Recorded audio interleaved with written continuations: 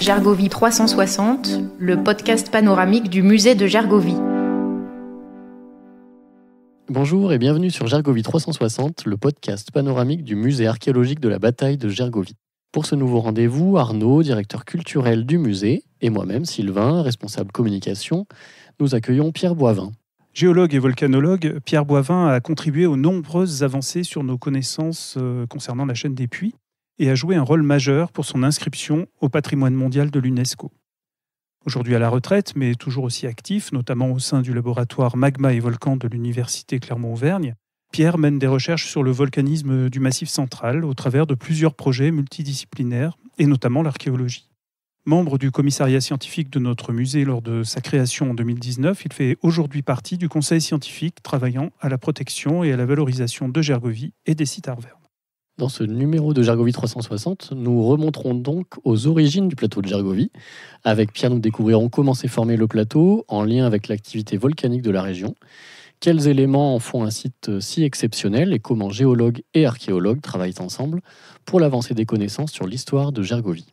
Alors Pierre, euh, qu'est-ce que Gergovie évoque personnellement pour vous? Euh, Y a-t-il un lien particulier et personnel qui vous unit euh, à ce site? Gergovie est incontournable qui habite, pour qui habite Clermont-Ferrand. Euh, on l'a devant le nez tous les jours. Donc, euh, évidemment, euh, il est là. C'est comme un membre de la famille, en quelque sorte. Dans mon cas, une fois, il s'est produit un truc qui m'a et qui a fait tilt un petit peu et qui m'a ému, c'est je passais en début d'octobre au pied de Gergovie, là sur l'autoroute, par un beau jour, et puis d'un coup, ben, j'ai eu l'impression de voir le château dans le ciel, Miyazaki, et euh, c'était Cervolix. Euh, donc il y avait des dizaines, sinon des centaines de cerfs-volants en l'air, avec des formes tout aussi bizarres les unes que les autres. Et euh, ça faisait un lien entre la terre et le ciel, et comme Bon, je faisais pas trop attention au pied du, plateau. Ben, j'avais vraiment l'impression de voir euh, quelque chose, une ville dans le ciel, une ville dans le ciel avec euh, des choses qui volaient autour. Enfin, c'était très, ça m'a vraiment ému, quoi. Ça m'a, j'en ai gardé l'image, alors que ça, il y a je sais pas combien d'années que j'ai j'ai vu ça. Ok, on va justement euh, parler d'une personne, c'est-à-dire vous. Et ce qu'on voulait savoir, c'est comment est née votre passion pour la géologie et la volcanologie? Ben, c'est très difficile à vous répondre parce que j'ai pas l'impression qu'elle est née. J'ai l'impression que c'est moi qui est né et que ben, j'étais déjà euh, impliqué dans tout ce qui était cailloux. Mon souvenir le plus ancien, enfin j'en ai plusieurs, mais celui qui est le plus proche de ce qui pourrait être de la géologie, euh, c'est un truc qui m'est arrivé, je devais avoir 4-5 ans. Et euh, on était en colonie de vacances avec mes parents, etc. Et puis dans le Jura. Et à côté euh, de la, du bâtiment, enfin de la colonie, quoi, il y avait une ancienne carrière de sable où les gens euh, bah, tiraient du sable. Bon, bah, ça faisait partie, on allait se balader dans le coin, c'était pas loin, c'était pas une carrière dangereuse, donc ma mère me laissait un peu la bride sur le cou. Et bah, je suis rentré dedans, et là j'ai vu quelque chose qui m'a interpellé. Alors, j'ai pas compris ce que c'était. C'est bien après que j'ai su ce que je voyais. Mais sur le coup, j'ai quand même vu qu'il y avait quelque chose à voir. Et c'était un galet mou. Euh, un galet d'argile au milieu du sable. Donc, c'était euh, assez. Pour moi, ça a fait tilt, quoi. Et, du coup, j'ai mis les mains dans l'argile, euh, j'ai tripatouillé. Enfin, vous voyez bien, quand t'es gamin, ça fait un peu une pâte à modeler. Et ça m'a marqué. Je, enfin, Bon, voilà. Donc ça, c'est le souvenir en contact avec un problème géologique. Et donc, dans votre carrière, vous avez contribué notamment à l'inscription de la chaîne des puits, faille de Limagne, au patrimoine mondial de l'UNESCO. On le sait peu, mais la formation du plateau de Gergovie, est directement liée à la, nature volcanique de la région. Est-ce que vous pouvez nous en dire plus? Eh bien, quand les Alpes ont commencé de se former, euh, ça s'est formé par la, la plaque euh, européenne euh, qui dérivait du nord euh, ouest vers le sud-ouest, sud-est qui s'enfonçait sous l'Afrique qui arrivait du sud. Donc à ce moment-là, le processus de subduction, c'est n'est pas la plaque qui s'enfonce qui est poussée, c'est l'autre qui est poussée, et la plaque qui s'enfonce, elle est tirée en dessous parce qu'elle est lourde, elle s'enfonce, et ça fait comme quand on tire, je sais pas si je vous tire une nappe là, euh, et puis qu'il y a des choses dessus, bon, et puis que ça tient bien, et ben je, vais tirer, je vais tirer, puis la nappe elle va craquer. Et ben là c'est arrivé, c'est ce qui est arrivé sur la plaque euh, Europe, euh, la plaque européenne, et donc il y a eu des cassures importantes liées à l'extension de cette plaque qui disparaissait sous les Alpes. Et quand on casse de la roche, enfin une plaque continentale, bah, ça s'amincit. Euh, enfin, si vous tirez un, truc caramel euh, et chocolat autour, bon, si vous le tirez pour le partager euh, en, deux, eh bien, vous vous le cassez pas. comme c'est mou, le caramel, ça s'étire, ça s'étire, à la fin, ça finit, il n'y a plus qu'un fil. Donc, ça montre bien que dans ce cas-là, on étire. Eh bien, la croûte, c'est pareil, on l'étire, et si elle s'amincit, ben, ce qu'il y a dessus s'enfonce. Et euh, ben là, ben voilà, ça s'enfonce et ça fait ce qu'on appelle des fossés. Donc on a ici euh, une cassure importante qui est liée à ça, c'est la faille de la grande faille de Limagne. La Limagne est la dépression qui a été générée par cette extension. Ça s'est fait progressivement, hein, c'est pas instantané. Et puis petit à petit, en même temps que ça s'étirait, eh bien les sédiments venaient et comblaient ce fossé. Ce qui fait que si on se baladait à l'époque où ça se faisait, ben on voyait pas grand-chose. Sinon, une dépression avec un lac et puis quelques bestioles qui, il y a des canards ou des, flamands aussi. On ne sait pas s'ils sont roses. Ça, c'est une énigme. Bref. Et donc petit à petit, ça s'enfonçait et il s'est formé le, le fossé euh, de Limagne.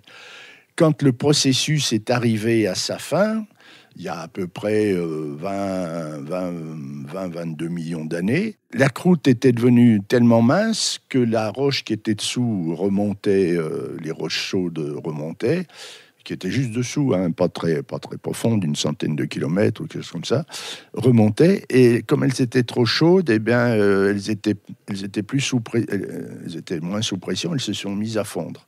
Et c'est à ce moment-là qu'il y a du magma qui est monté, qui est arrivé à la surface et qui constitue, qui a nourri tous les volcans de Limagne, à commencer par Gergovie. Donc le magma monte, il trouve en surface de l'argile, du sable, des roches avec de l'eau.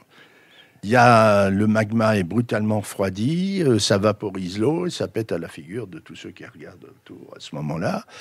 Et ça nous donne des, des, des, volcans qu'on appelle des mares à cette époque-là, donc un grand cratère d'explosion avec une cheminée qui s'enfonce dessous, qui va jusqu'au fond du, du, fossé quasiment. Quoi.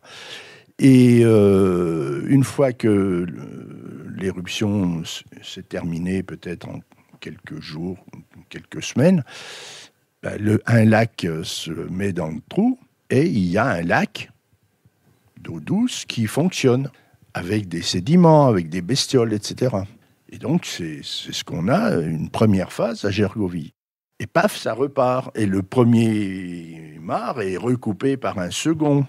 Et puis après, évidemment, c'est pas fini. Il repart encore un nouveau, euh, une nouvelle éruption. Alors cette fois, euh, ça nous donne des filons, ça nous donne des, cheminées euh, avec des, cendres, des cendres rouges.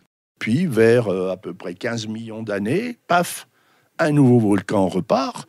cette fois, on pense qu'il est à Risol, là, juste à côté. Et euh, il y a sans doute moins d'eau, euh, c'est sans doute déjà un peu exondé. Et hop, euh, à ce moment-là, il fait, il ne génère que de la coulée de lave.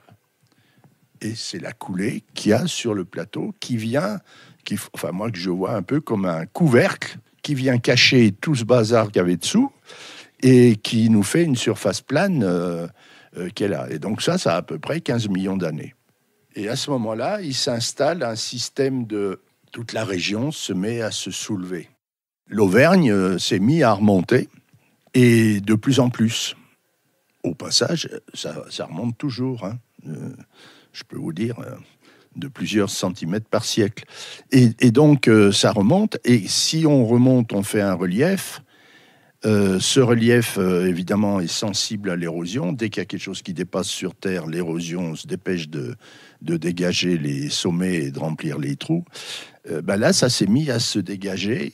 Et tous ces volcans anciens précédents qui étaient dans la, la Limagne, qui étaient durs, quand vous regardez du basalte, c'est quand même plus résistant que de l'argile.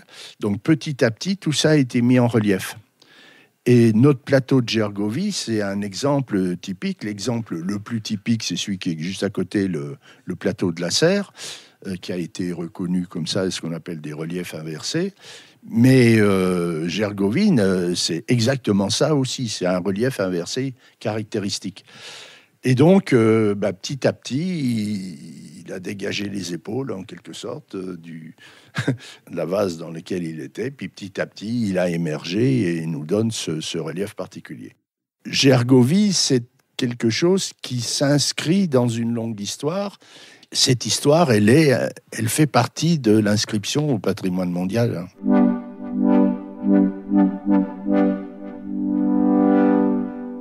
Alors si, si, on se balade aujourd'hui sur le plateau de Gergovie, donc on, est, on a les pieds sur un, ancien volcan et justement quand on se promène, est-ce qu'il y a un moyen d'en prendre conscience en tout cas de, l'existence de ce volcan? C'est un peu paradoxal. Si vous voulez, euh, toute l'approche euh, archéologique, euh, enfin tout ce qui fait l'intérêt du plateau de Gergovie, pour, pour la plupart des gens, avec votre travail et tout, ben c'est la la mise en valeur de euh, tout ce qui est lié à l'occupation humaine du, plateau, euh, les bagarres et tout qu'il y a pu avoir. Et euh, donc ça, c'est bizarre parce que ça s'installe sur la coulée chapeaute tout le truc et, et ce que j'ai appelé le couvercle qui couvre tout l'ensemble volcanique intense, enfin, qui est caché dessous. Donc, c'est un peu bizarre. C'est un peu comme si on vivait sur le toit d'une maison. Vous voyez ce que je veux dire? Voilà. Et alors, par contre, le, paysage volcanique, eh ben, il faut le voir en regardant autour euh, du, plateau, en regardant la, euh, la Limagne, en voyant les, volcans pointés du nez, en voyant la chaîne des puits au-dessus, en voyant les monts d'or plus haut. Enfin, les volcans, ils font une ronde autour. Mais à ce moment-là, on ne regarde pas Gergovie, on a les pieds dessus, mais on regarde euh, en dehors. Donc, vous voyez, c'est très, très, très frustrant, enfin, pour moi. Euh, voilà. Et hum, justement, on dit en introduction que hum, vous avez des projets multidisciplinaires et liés à l'archéologie. Oui. Est-ce qu'il y a d'autres euh, d'autres épisodes euh, euh, de l'histoire plus récente et pas forcément géologique auxquels vous avez participé avec des archéologues récemment? Mes domaines de recherche avec les archéologues, c'est en tant que géologue. C'est-à-dire, on vient me chercher pour dire tiens, il y a un caillou qui est utilisé dans telle construction. Mais donc, les archéologues proposent disent voilà, on a des cailloux qui sont mis là, donc par exemple pour faire la muraille euh, de, Gergovie ou pour utiliser là, le dernier truc qu'on me remue sous le nez, c'est les anciennes meules antiques, euh, les meules domestiques euh, qui sont faites. Alors, question, c'est quoi le caillou? Et tout de suite après, d'où ça vient? Et l'idéal, c'est si je leur dis dans quelle carrière ça a été ramassé. Alors là, là c'est le top du top. Donc, dans ce domaine-là, euh, ce que j'ai travaillé, euh, j'ai fait plusieurs choses, mais euh, de façon vraiment significative. Il y a d'abord tout le travail avec le trachyte de la chaîne des puits, c'est-à-dire le trachyte, c'est les, les, volcans trachytiques, les dômes de la chaîne des puits. Et ça a commencé avec le temple de Mercure qui est en trachyte et qui traditionnellement, euh, on disait, ben voilà, ça vient des carrières qu'on voit en dessous du puits de Clerzou, des carrières souterraines. Bon, alors j'ai rien contre. Enfin, c'est pas ça, c'est pas les carrières j'ai regardé. J'ai regardé la roche du qui a servi à construire, enfin les moellons qui ont servi à faire le temple de Mercure. Et là, je me suis rendu compte que la roche, c'était certes une roche trachytique, mais que personne ne connaissait dans la chaîne des puits, qui n'avait jamais été décrite ni quoi que ce soit. Donc avec les copains archéologues euh, et, autres, on est parti à la chasse, on a réinventorié tous les traquis de la chaîne des puits, tous les volcans, etc. En faisant ça, on est rentré dans les grottes. on s'est rendu compte que c'était pas des carrières pour extraire des moellons, mais c'était des carrières pour extraire des sarcophages. Donc c'était pas le même sujet, mais n'empêche qu'au passage, on a ramassé des sarcophages. Enfin, on, s'est dit tiens, il y a des sarcophages. Donc de fil en aiguille, on a trouvé beaucoup de nouvelles choses, de nouvelles carrières de sarcophages, etc. Et au bout de, de 3-4 ans de recherche, on est arrivé, à force d'avoir gratté tout autour, on est descendu dans un trou où on n'était jamais descendu, enfin jamais descendu avec cette idée en tête, qui est le cratère Kilian au pied du Puy de Dôme. Et là, on a vu que sous la forêt, il y avait des tas de déblais. Les collègues antérieurs avaient pensé que c'était des phénomènes volcaniques, euh, voilà, bon. Et puis nous, quand on arrive avec tout ce qu'on a dans la tête, on dit ben non, c'est des restes d'exploitation en carrière. On se baisse, on ramasse un éclat et paf, c'est le caillou. euh, c'est exactement le caillou qui a servi la même nature que celui qui a servi au-dessus à faire le temple de Mercure. Voilà, donc un exemple.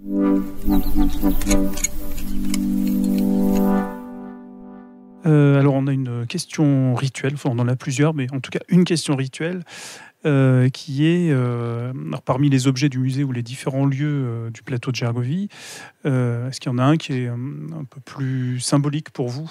Je suis géologue, donc c'est ce qui ressemble le plus à des tas de cailloux, donc c'est la muraille. Ouais. Hein, voilà, la muraille pour moi, bah, c'est en plus ça a été bien restauré, c'est bien montré. Euh, là aussi, euh, par rapport à admirer le paysage, si en plus on a les deux pieds sur la muraille, je sais pas si on a le droit d'y aller maintenant. enfin, On évite, on- euh, ça en rajoute un mètre de hauteur. Et, et là, pour le coup, on, on se met à avoir des ailes qui poussent sur le, le front, même, même si c'est euh, anachronique, je pense. Enfin, je sais Oui, pas, oui. ça, c'est les archéologues qui le disent. Mais là, pour le coup, c'est un jeu de rôle. Donc, dernière question, euh, avant de nous séparer. Euh, y a-t-il une question à laquelle vous auriez aimé répondre, mais que nous ne vous avons pas posée? Eh ben, je vous l'ai déjà un peu instillé dans les oreilles, c'est dire ben voilà, on est sur le plateau, vous travaillez sur l'archéologie, on est sur le toit du plateau et dessous il y a un tas de choses. C'est même plus qu'un tas. Pour moi, euh, Gergovie, c'est un monstre. Un monstre de volcanologie, de géologie, etc. C'est extraordinairement compliqué. Euh, Il y a eu des tas de gens qui sont venus, chacun a sorti son idée, les plus farfelus aux plus euh, raisonnables. Euh, donc il y a beaucoup de recherches à faire, mais en tout cas, il y a quelque chose qu'il faut mettre euh, en avant, que- dont il faut parler. Donc euh, ma question que je voudrais que vous me posiez, c'est la géologie de Gergovie mérite-t-elle d'être mise en avant? Je vends ma baraque. On hein. a la réponse, non? On a compris la réponse. ouais. Dans mon cas, oui. Non, je veux dire, c'est, absolument euh, un truc euh, prodigieux. Alors, euh, ce qu'il y a, c'est que pour l'avoir, réellement, il faut, il faut quitter le plateau. Il faut descendre sur les bords, mais il y a eu, vous avez, je ne sais pas si c'est vous à l'origine, mais vous avez fait, il y a des travaux, des chemins qui ont été faits. Donc tout ça permet de descendre, de voir des choses. Alors, il y a ce qui est visible en se déplaçant, en faisant une randonnée un peu autour du plateau. Le problème, c'est que c'est d'une complexité monstrueuse. Donc, c'est pas facile à vulgariser, enfin, je veux dire, à, faire connaître. Cette complexité, je vous le disais, ça existe depuis euh, qu'il y a des géologues euh, dignes de ce nom qui viennent donc depuis le XVIIIe siècle. Et, et après, bon, bah, ils ont dit, bon, bah, là, il y a des volcans. Et là, il y a eu des débats au 19e avec euh, la Société géologique de France qui s'est déplacée avec armes et bagages pour faire un congrès euh, à Clermont. Et donc, ils sont venus exprès à Gergovie. Et il y a eu des discussions euh, enflammées. avec heureusement, il y en a qui étaient assez des, géologues qui contribuaient à balader les gens, qui étaient censés, enfin pas censés, mais qui pondéraient la vigueur des discussions. Euh, et donc, tous des grands noms de la géologie euh, sont venus et ce sont. euh, il y a eu des bagarres verbales hein, sur le site pour essayer de comprendre qu'est-ce que c'était que ce truc-là. Parce que, bon, ils n'avaient pas les, les concepts de l'époque. Et les concepts sont arrivés avec Vincent. Hein.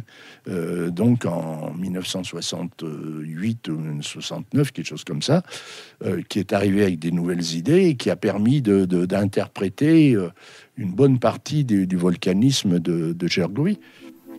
Merci Pierre et merci à vous d'avoir suivi ce nouveau rendez-vous de Gergovie 360. Et comme d'habitude, n'hésitez pas à partager ce numéro avec tous vos amis. Et n'oubliez pas de vous abonner à notre série pour être informé de la sortie des futurs épisodes. Et pour suivre nos actualités, connectez-vous sur musée-gergovie.fr et sur nos réseaux sociaux. Merci Pierre et à bientôt. Eh bien, merci de votre accueil. Ça a été un moment plaisant. Au revoir.